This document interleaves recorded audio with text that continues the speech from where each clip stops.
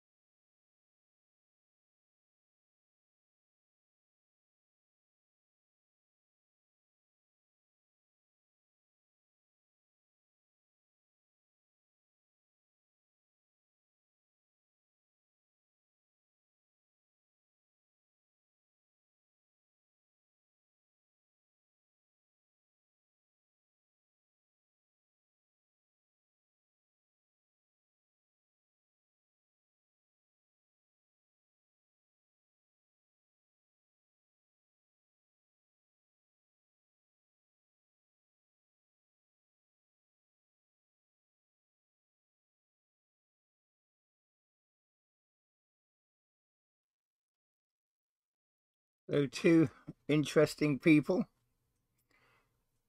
A quick depiction of who they look like. And I reckon the second is probably more accurate than the first because he's a lot nearer mm. to the time we are. But there we go. O Lord, open our lips and our mouth shall proclaim your praise. God be gracious to us and bless us and make his face to shine upon us, that your way may be known upon earth, your saving power among all nations. Let the peoples praise you, O God, let all the peoples praise you. O let the nations rejoice and be glad, for you will judge the peoples righteously and govern the nations upon earth. Let the peoples praise you, O God, let all the peoples praise you. Then shall the earth bring forth her increase, and God, our own God, will bless us. God will bless us, and all the ends of the earth shall fear him. Glory to the Father, and to the Son, and to the Holy Spirit, as it was in the beginning, is now, and shall be for ever. Amen. The night has passed, and the day lies open before us. Let us pray with one heart and mind.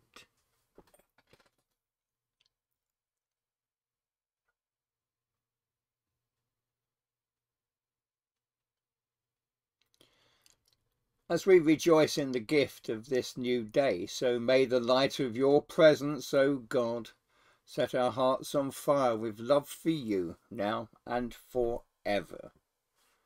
Amen. Psalm 37 Do not fret because of those who are evil, or be envious of those who do wrong. For like the grass they will soon wither, like green plants, they will soon die away. Trust in the Lord and do good. Dwell in the land and enjoy safe pasture. Take delight in the Lord, and he will give you the desires of your heart. Commit your way to the Lord, trust in him, and he will do this. He will make your righteous reward shine like the dawn, your vindication like the noonday sun. Be still before the Lord and wait patiently for him. Do not fret when people succeed in their ways, when they carry out their wicked schemes. Refrain from anger and turn from wrath. Do not fret, it leads only to evil. For those who are evil will be destroyed, but those who hope in the Lord will inherit the land. A little while, and the wicked will be no more. Though you look for them, they will not be found, but the meek will inherit the land and enjoy peace and prosperity. The wicked plot against the righteous and gnash their teeth at them. But the Lord laughs at the wicked, for he knows their day is coming. The wicked draw the sword and bend the bow to bring down the poor and needy, to slay those whose ways are upright. But their swords will pierce their own hearts, and their bows will be broken. Better the little that the righteous have than the wealth of many wicked. For the power of the wicked will be broken, but the Lord upholds the righteous. The blameless spend their days under the Lord's care and their inheritance will endure for ever. In times of, dark, of disaster, they will not wither. In days of famine, they will enjoy plenty. But the wicked will perish. Though the Lord's enemies are like the flowers of the field, they will be consumed and they will go up in smoke. The wicked borrow and do not repay, but the righteous give generously. Those the Lord blesses will inherit the land but those he curses will be destroyed. The Lord makes firm the steps of the one who delights in him. Though he may stumble, he will not fall, for the Lord upholds him with his hand. I was young, and now I am old. Yet I've never seen the righteous forsaken or their children begging bread. They are always generous and lend freely. Their children will be a blessing. Turn from evil and do good. Then you will dwell in the land for ever. For the Lord loves the just and will not forsake his faithful ones. Wrongdoers will be completely destroyed. The offspring of the wicked will perish. The righteous will inherit the land and dwell in it for ever. The mouths of the righteous utter wisdom, and their tongues speak what is just. The law of their God is in their hearts, their feet do not slip. The wicked lie in wait for the righteous, intent on putting them to death. But the Lord will not lead them in the power of the wicked, or let them be condemned when brought to trial. Hope in the Lord, and keep his way he will exhort you to inherit the land. When the wicked are destroyed, you will see it. I have seen a wicked and ruthless man flourishing like a luxuriant native tree, but he soon passed away and was no more. Though I looked for him, he could not be found. Consider the blameless, observe the upright. A future awaits those who seek peace, but all sinners will be destroyed there will be no future for the wicked. The salvation of the righteous comes from the Lord. He is their stronghold in time of trouble. The Lord helps them and delivers them. He delivers them from the wicked and saves them, because they take refuge in him. Glory to the Father, and to the Son, and to the Holy Spirit as it was in the beginning, is now, and shall be for ever. Amen. 1 Samuel chapter 17, verses 1 to 30. Now the Philistines gathered their forces for war and assembled at Socoh in Judah. They pitched camp at Ephes Dammim between Socoh and Azekah. Saul and the Israelites assembled and camped in the valley of Elah and they drew up their battle line to meet the Philistines. The Philistines occupied one hill and the Israelites another with the valley between them. A champion named Goliath, who was from Gath, came out of the Philistine camp. His height was six cubits and a span. He had a bronze helmet on his head and wore a coat of scale armour of bronze weighing five thousand shekels. On his legs he wore bronze greaves, and a bronze javelin was slung on his back. His spear shaft was like a weaver's rod, and its iron point weighed six hundred shekels. His shield bearer went ahead of him. Goliath stood and shouted to the ranks of Israel, Why do you come out and line up for battle? Am I not a Philistine? And are you not the servants of Saul? Choose a man and have him come down to me. If he's able to fight and kill me, we will become your subjects. But if I overcome him and kill him, you will become our subjects and serve us. Then the Philistines said, This day I defy the armies of Israel. Give me a man and let us fight each other. On hearing the Philistines' words, Saul and all the Israelites were dismayed and terrified. Now David was the son of an Ephrathite named Jesse, who was from Bethlehem in Judah. Jesse had eight sons, and in Saul's time he was very old. Jesse's three oldest sons had followed Saul to the war. The firstborn was Eliab, the second Abinadab, and the third Shammah. David was the youngest. The three oldest followed Saul, but David went back and forth from Saul to tend his father's sheep at Bethlehem. For forty days the Philistine came forward every morning, and every day and every evening took his stand. Now Jesse said to his son David, Take this ephah of roasted grain and these ten loaves of bread for your brothers and hurry to their camp. Take along these ten cheeses to the commander of their unit. See how your brothers are and bring back some assurance for them. From them, sorry. They're with Saul and all the men of Israel in the valley of Elah, fighting against the Philistines. Early in the morning, David left the flock in the care of a shepherd, loaded up and set out, as Jesse had directed. He reached the camp as the army was going out to its battle positions, shouting the war cry. Israel and the Philistines were drawing up their lines facing each other. David left his things with the keeper of supplies, ran to the battle lines, and asked his brothers how they were. As he was talking with them, Goliath, the Philistine champion from Gath, stepped out from his lines and shouted his usual defiance, and David heard it. Whenever the Israelites saw the man, they all fled from him in great fear. Now, the Israelites have been saying, Do you see how this man keeps coming out? He comes out to defy Israel. The king will give great wealth to the man who kills him. He will also give his daughter in marriage and will accept his family from taxes in Israel. David asked the men standing near him, what will be done for the man who kills this Philistine and removes this disgrace from Israel? Who is this uncircumcised Philistine that he should defy the armies of the living God? They repeated to him what they had been saying and told him. This is what will be done for the man who kills him.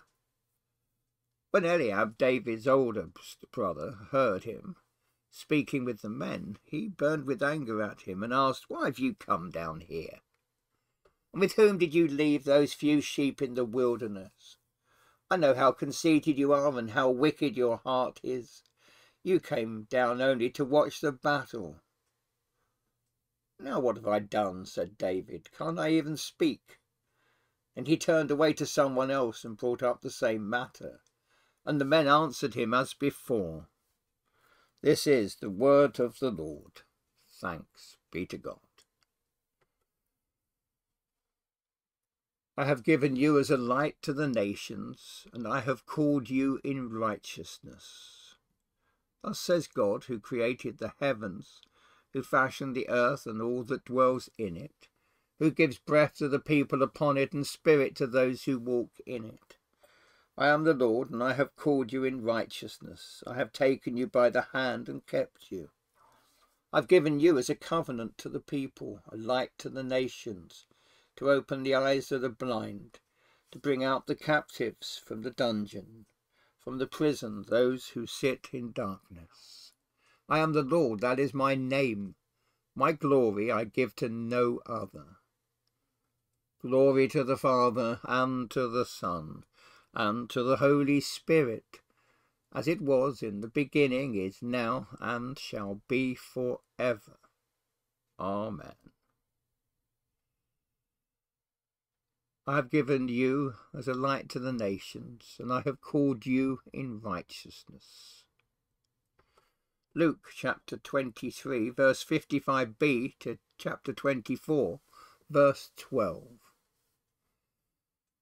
Then they went home and prepared spices and perfumes, but they rested on the Sabbath in obedience to the commandment. On the first day of the week, very early in the morning, the women took the spices they had prepared and went to the tomb. They found the stone rolled away from the tomb, but when they entered, they did not find the body of the Lord Jesus. While they were wondering about this, suddenly two men in clothes that gleamed like lightning stood beside them. In their fright, the women bowed down with their faces to the ground.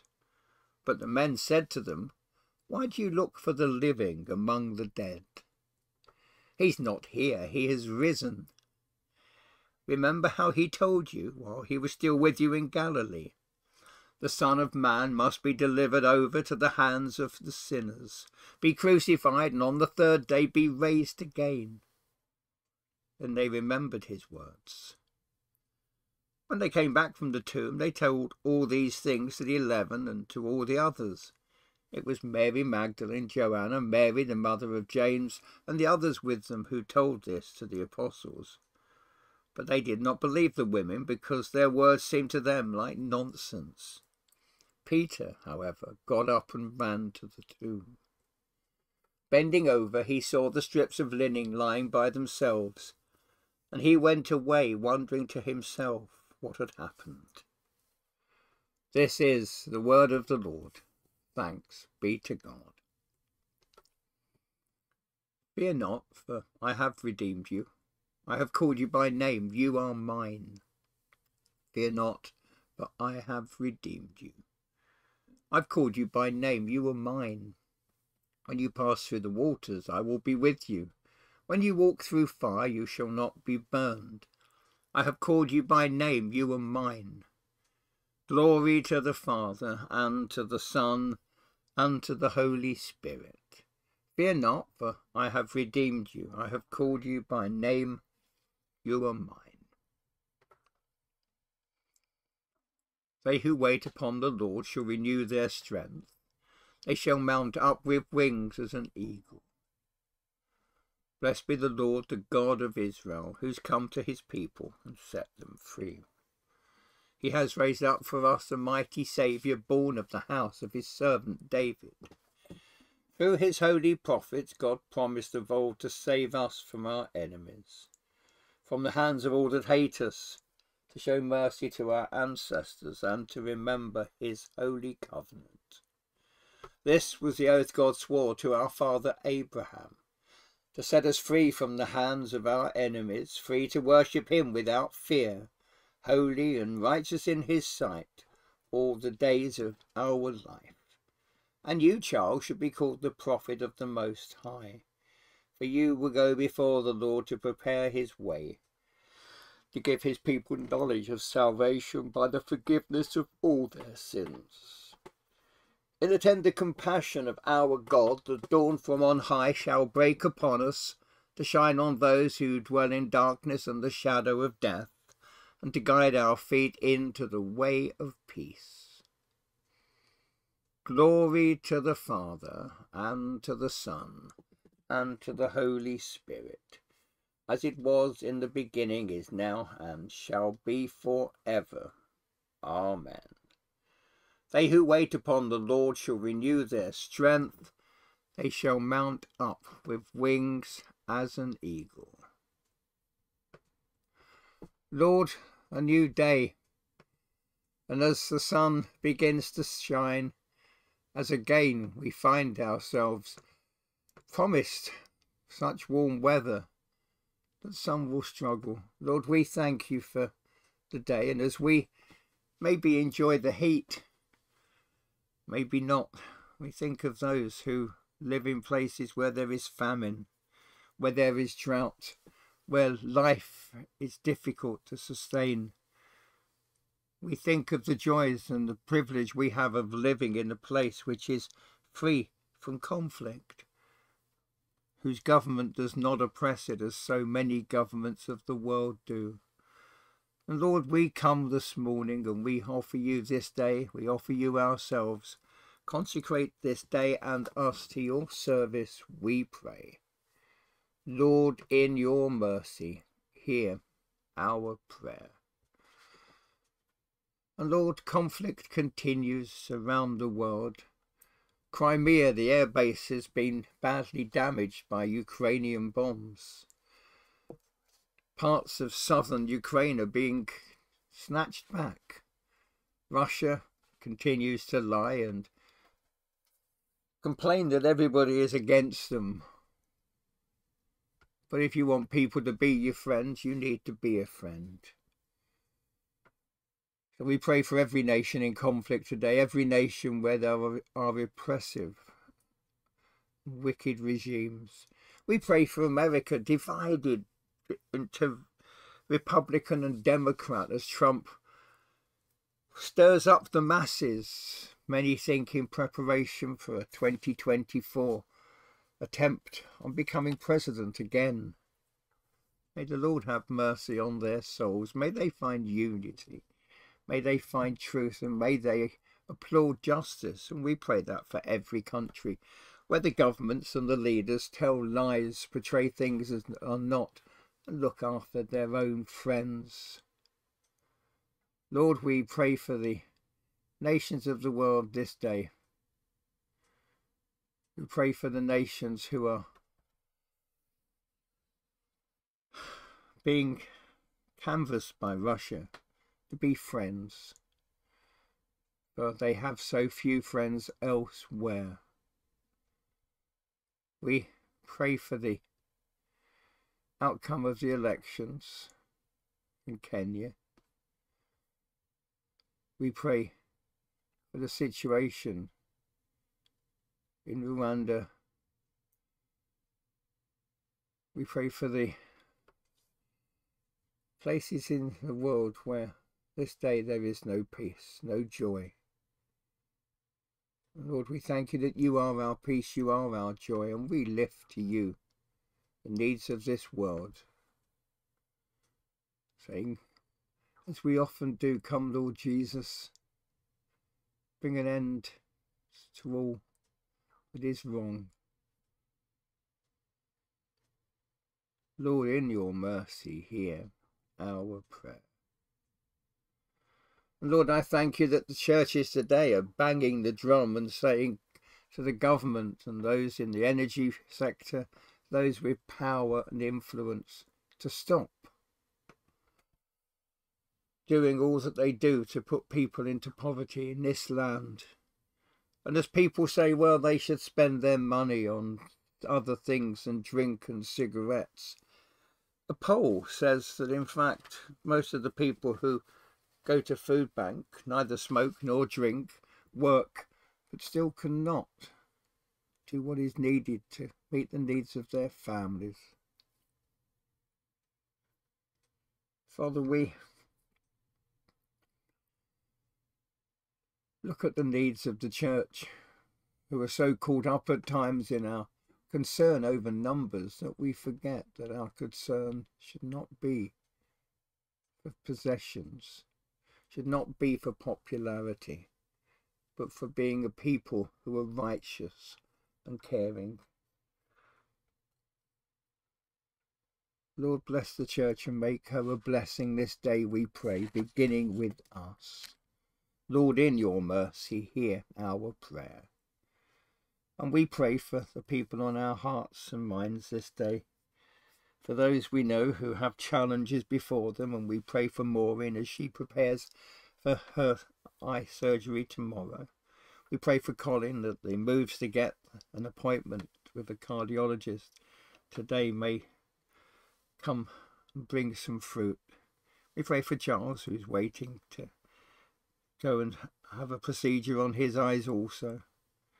We pray for Stan Parry as he continues to recover and for Kev Sanford and his recovery from his knee surgery.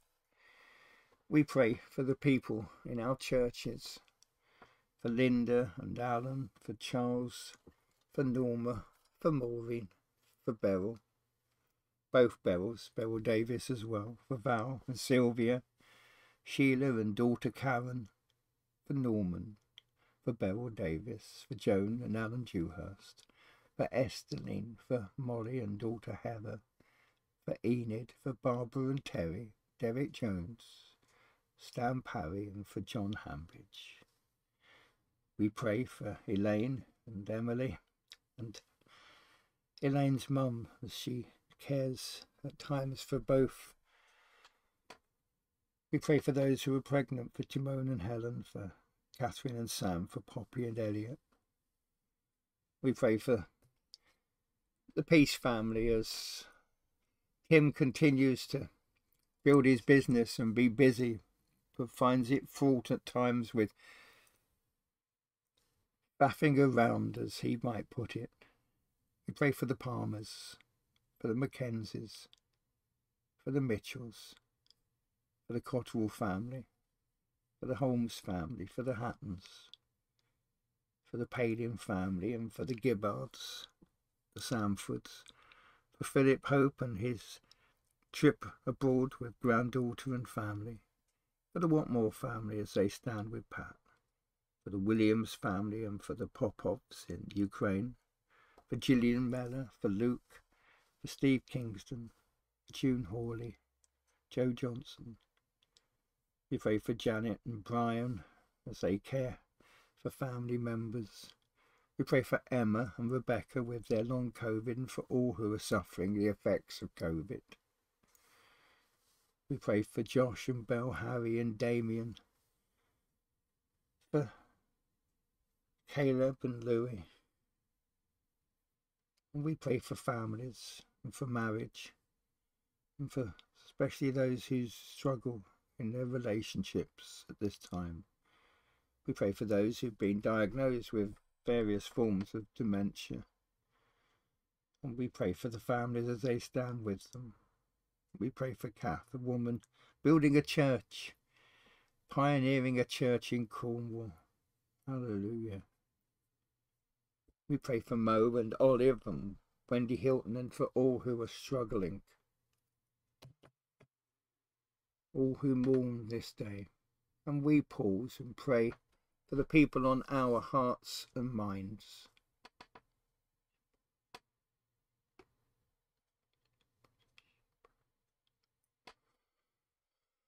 Lord, in your mercy, hear our prayer. God of peace, who in the poverty of the blessed Clare gave us a clear light to shine in the darkness of this world.